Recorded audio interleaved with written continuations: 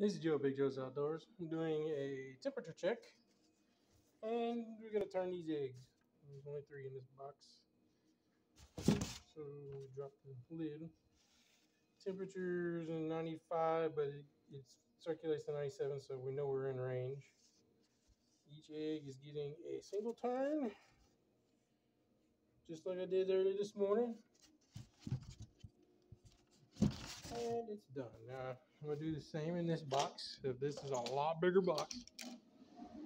Temperature on this is 97.1, so it's still good. And I got a lot more eggs in here.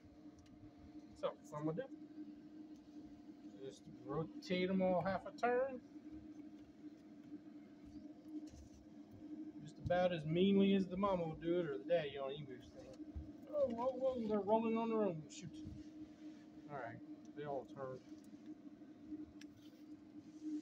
I really do need to make a rack for these things, but thanks for watching. Like and subscribe, and we'll see y'all in the next video.